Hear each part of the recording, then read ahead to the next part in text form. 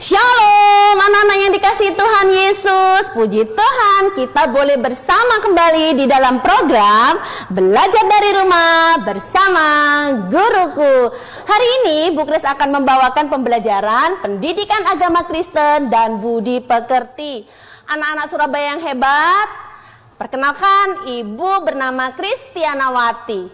Ibu mengajar di SDN Margorejo 6 dan Margorejo 3 Surabaya.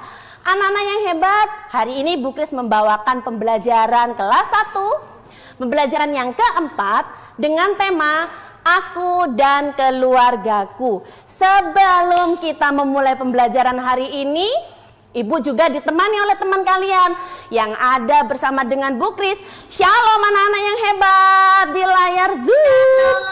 Puji Tuhan. Oke. Nah, hari ini kita akan berdoa bersama-sama dipimpin oleh Bapak Jericho yang ganteng. Ada Bapak Jericho? Oke, silakan Jericho. Kita satu dalam doa ya. Jericho ada?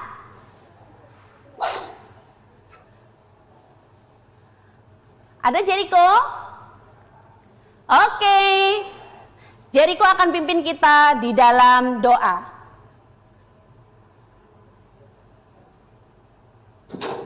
Tuhan Yesus, berkatilah kami semua ya Tuhan pada pagi hari ini ya Tuhan. Dan kami juga akan memulai pelajaran kami pada hari ini ya Tuhan. Berkatilah guru kami, Bu Kristianawati ya Tuhan.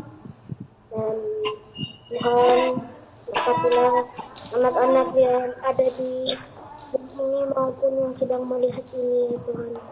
Melihat pelajaran ini ya Ya Tuhan, terima kasih hanya di dalam nama Tuhan Yesus Kristus. Haleluya. Amin. Amin, puji Tuhan. Oke, biar semangat, coba lihat dulu. Tujuan pembelajaran kita hari ini adalah yang pertama, agar siswa dapat memperkenalkan anggota keluarganya. Tujuan yang kedua adalah agar siswa dapat menceritakan tugas tiap anggota keluarganya. Yang ketiga, agar siswa dapat menyebutkan contoh tindakan mengasihi di dalam keluarga.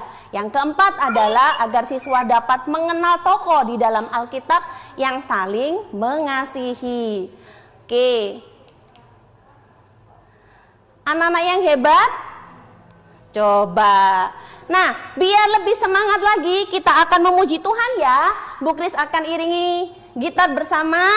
Nah, kalian akan menyanyi ya. Kita akan memuji Tuhan lagu Yesus sayang semua.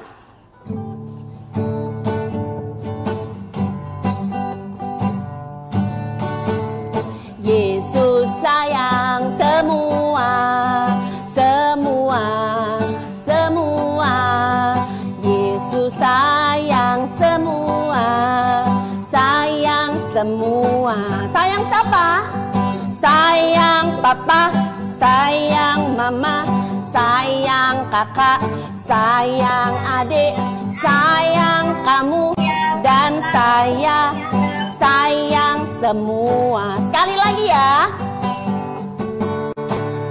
Yesus sayang semua, semua, semua. Yesus sayang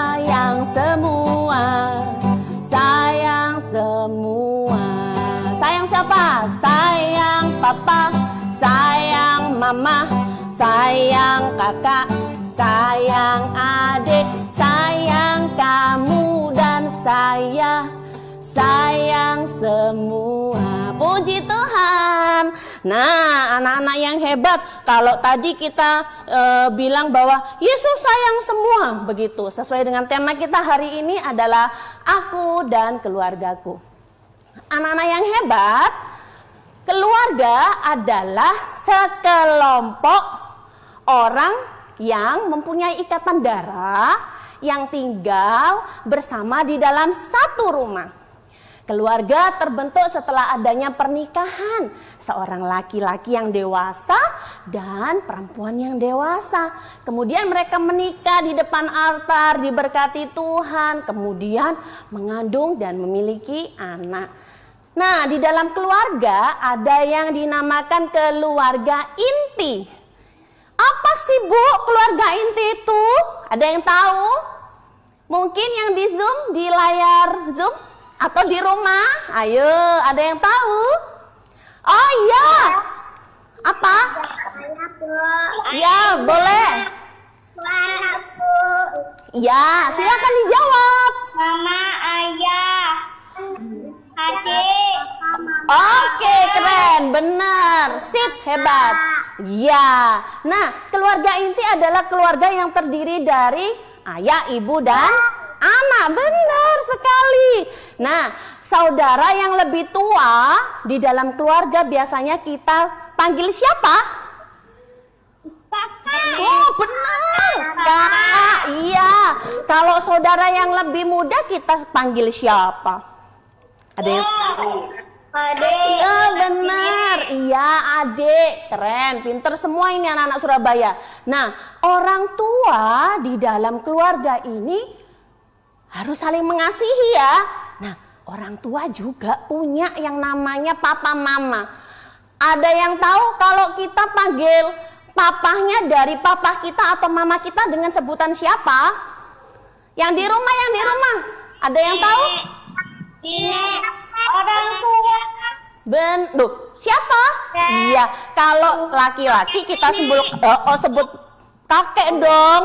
Kalau yang perempuan kita panggil nenek. Pinter. Oh, kalian kok pinter sekali sih. Nah, anak-anak yang hebat, tugas setiap anggota keluarga itu ternyata berbeda-beda loh satu dengan yang lain, tidak sama. Ada yang tahu tugasnya ayah itu apa kira-kira? Ada yang tahu? Pinter. Iya. Oke, hebat. Nah, yang di rumah juga ya, pinter. Kalian juga sudah menjawab pertanyaan Bu Kris. Tugas ayah adalah mengenalkan anak mencintai Tuhan Yesus. Ini di dalam keluarga Kristen ya. Nah, kemudian mencari nafkah, mencukupi kebutuhan keluarga, mendidik anak-anak, menyayangi keluarga. Sama seperti kalian saat ini sedang menyaksikan di layar kaca televisi ataupun mengikuti Zoom bersama Bu Kris, pasti dibantu ada papa atau mama yang mendampingi kalian. Bilang terima kasih kepada papa sama mama kalian ya. Selanjutnya, ada yang namanya tugas ibu. Nah, tugas ibu adalah mengenalkan anak, mencintai Tuhan Yesus, merawat anak-anak dengan penuh kasih, mendidik anak-anak dengan kasih dari Tuhan Yesus, menyayangi keluarga. Bu Kris akan kembali lagi. Jangan ke mana-mana, tetap bersama program Belajar dari Rumah bersama Guruku. Shalom anak-anak yang hebat, kita kembali lagi ya di dalam program Belajar dari Rumah bersama Guruku. Anak-anak yang hebat, nah kalau tadi kita boleh belajar mengenai beberapa tugas dari ayah dan ibu. Sekarang ternyata anak-anak ini juga punya tugas loh. Apa tugasnya? Yang pertama, menghormati orang tua. Kemudian menyayangi orang tua dan saudara. Terus mentaati nasihat orang tua, membantu orang tua, serta rajin belajar. Kira-kira kalian, coba Bernadetta, hari ini sudah menolong mama belum? Udah. Oh, udah. Bagaimana dengan Yisai? Hari ini menolong apa? Oke deh. Bagaimana dengan Bapak Edgar? Hari ini menolong papa apa? Menolong membersihkan motor. Oh, membersihkan motor. Oke, puji Tuhan. Nyapu. Oh, nyapu juga. Nah, anak-anak yang hebat mengasihi dalam keluarga diwujudkan dengan saling mengasihi dan menghormati, terus berbagi, saling memaafkan, saling tolong menolong. Yang di rumah juga ya sama. Saat kalian di rumah bantu mama, bantu papa ya. Hormati mereka, sayangi mereka karena orang tua adalah wakil Tuhan di dalam dunia. Nah, kalau tadi kita boleh belajar mengenai keluarga inti, sekarang ada yang namanya keluarga besar. Keluarga besar biasanya ada yang kita sebut dengan paman atau Pak D atau Pak Le atau Om gitu ya. Nah, siapa sih paman itu atau Om itu? Paman adalah saudara laki-laki dari ayah dan ibu. Sedangkan bibi adalah saudara perempuan dari ayah atau ibu. Anak dari paman dan bibi kita panggil sebagai saudara sepupu. Kira-kira sekarang Bu Kris mau tanya ya, di rumah kalian kalian siapa yang tinggal dengan bersama dengan ada Pak D-nya? Angkat tangan. Ada? Oh iya, oke deh. Adakah kira-kira dari kalian yang tinggal dengan bibinya? Ada nggak? Tidak. Oh tidak, ya. Ada nggak yang tinggal dengan neneknya? Ada nggak? Ada. Ada. Oke, iya. Sayangi mereka juga ya. Nah, dalam keluarga harus saling mengasihi dan kasih yang luar biasa dari Tuhan Yesus Kristus. Oke, selanjutnya ada contoh mengasihi dalam keluarga. Membantu mama saat mama sibuk, saat mama sedang berberes di rumah, bantu mama, jangan dibiarkan. Tolong mama ya. Terus kemudian kalian bisa bekerja sama dengan saudara. Ngapain bu? Ya nyapu kek ya. Nyapu sama-sama kakak biar pekerjaan yang berat jadi ringan. Selain itu kalian juga bisa Nah, belajar bersama orang tua. Saat saat ini pembelajaran pandemi ya, daring kalian ditemani oleh mama, ditemani oleh papa. Kira-kira selama ini hampir uh, satu tahun setengah lebih ya, siapa yang pernah bilang, "Pak, Ma, I love you, terima kasih sudah dibantu di dalam proses pembelajaran daring." Ada nggak yang bilang terima kasih ke mama papanya? Ada. Kalau ada, angkat tangannya. Kalau ada angkat tangannya, puji Tuhan. Yang belum nanti setelah ini pembelajaran bilang terima kasih ke mama papa kalian ya. Puji Tuhan. Nah, membersihkan rumah bersama-sama juga bisa berjalan baik kalau ada kasih. Ada yang namanya di dalam firman Tuhan tokoh Alkitab yang mengajarkan mengasihi. Siapakah dia?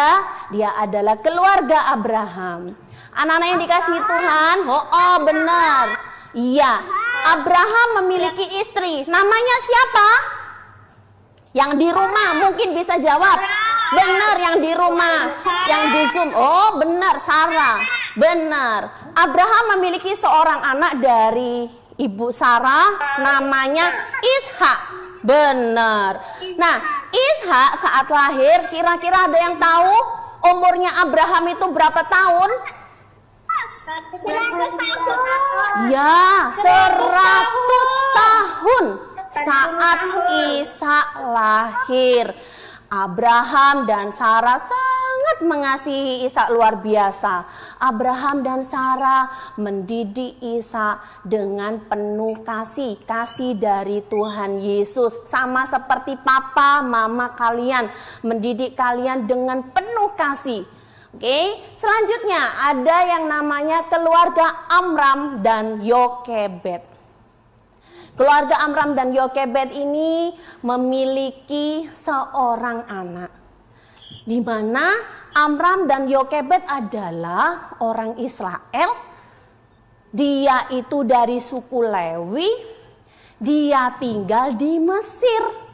Nah, saat mereka tinggal di Mesir, mereka memiliki anak bernama Musa. Saat Musa masih bayi, ada peraturan bahwa bayi laki-laki keturunan Ibrani harus dibunuh. Waduh, kira-kira papa mamanya bagaimana ya? Papa mamanya mendengar ini pasti sedih sekali.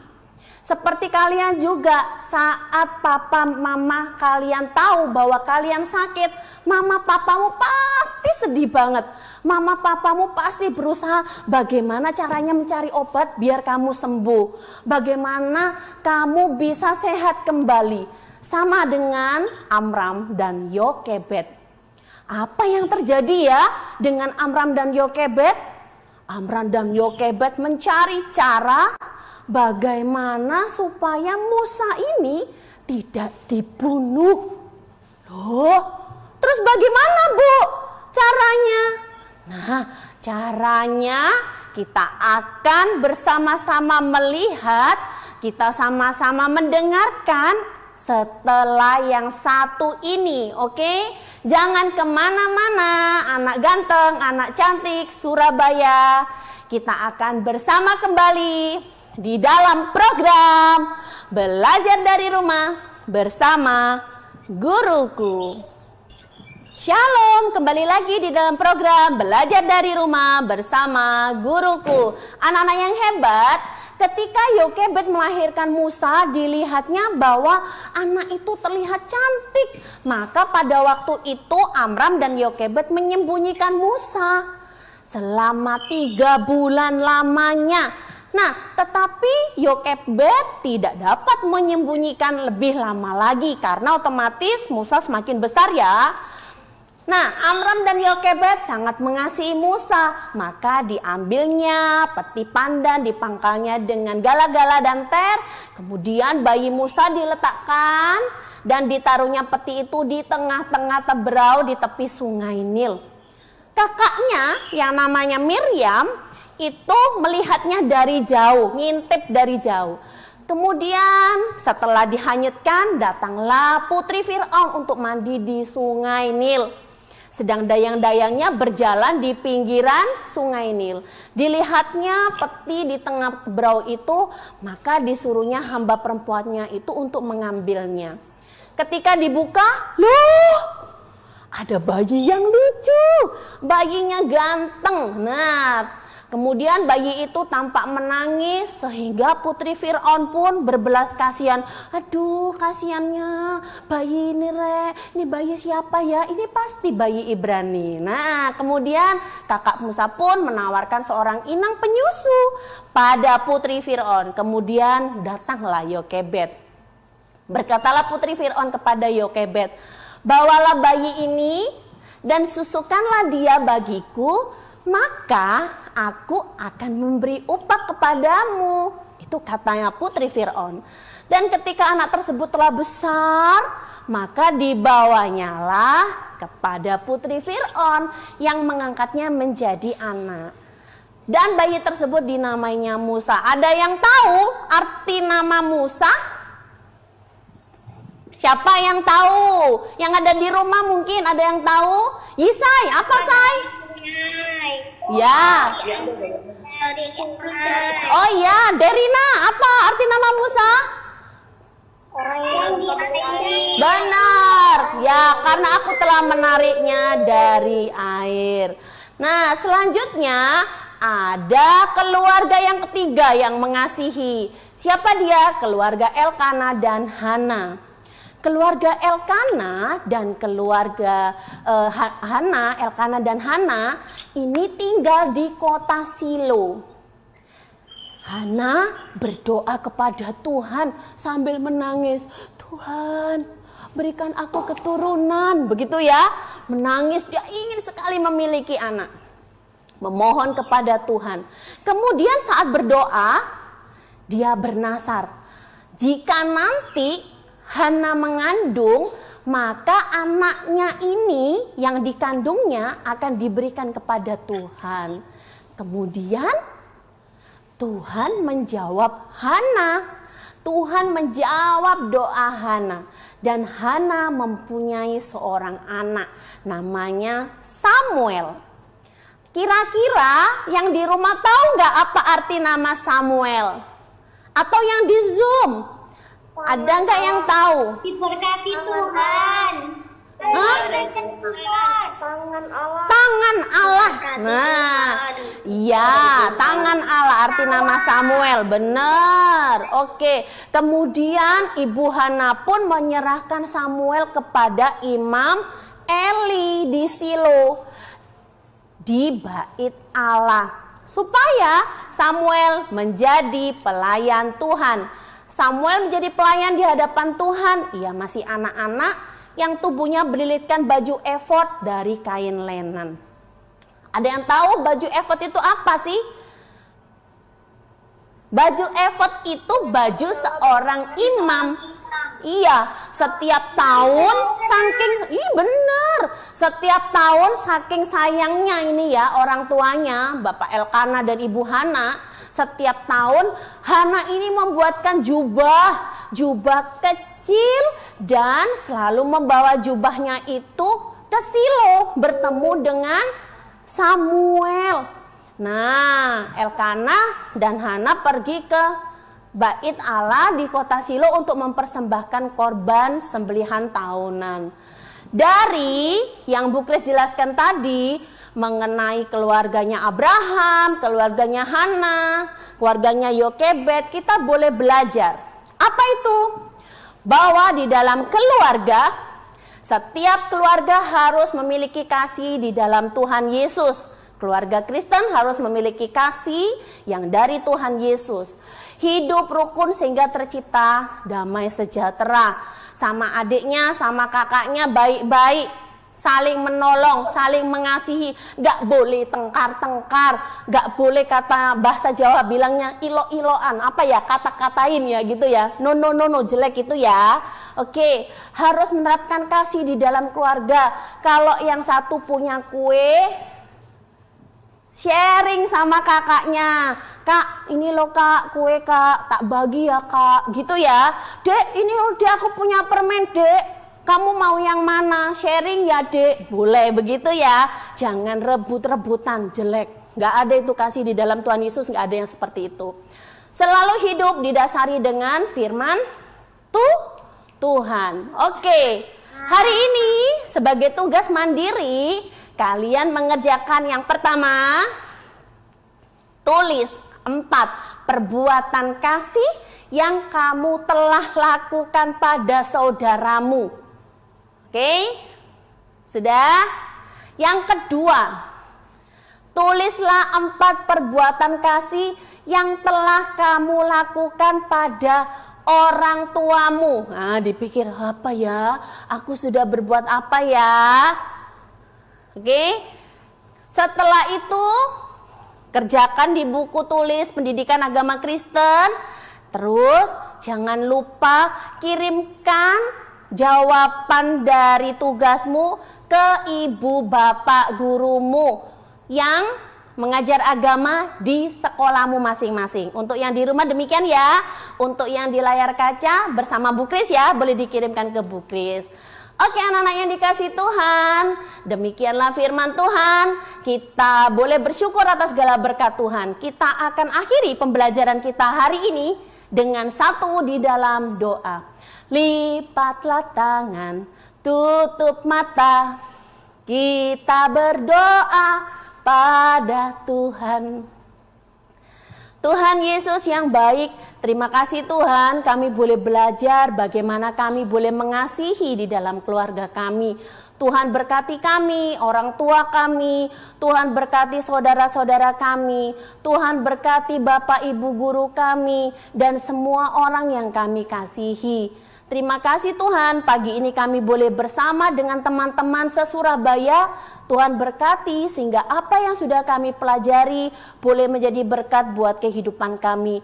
Terlebih engkau juga berkati untuk Jawa Pos TV sehingga nama Tuhan boleh senantiasa dipermuliakan melalui pelayanan di dalam memberikan materi ya Bapak untuk kami boleh belajar dari rumah.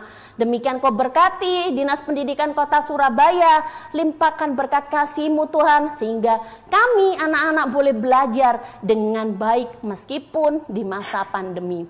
Di dalam nama Tuhan Yesus Kristus kami sudah berdoa dan mengucap syukur. Terima kasih sudah menyaksikan program ini. Kiranya Tuhan Yesus memberkati sampai ketemu kembali di dalam program belajar dari rumah bersama guruku. Tuhan Yesus memberkati.